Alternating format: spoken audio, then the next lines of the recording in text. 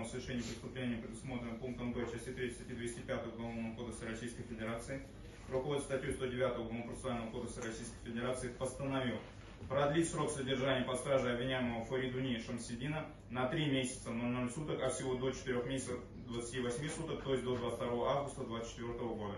Настоящее постановление может продолжать Московский городской суд в течение трех суток со дня вынесения.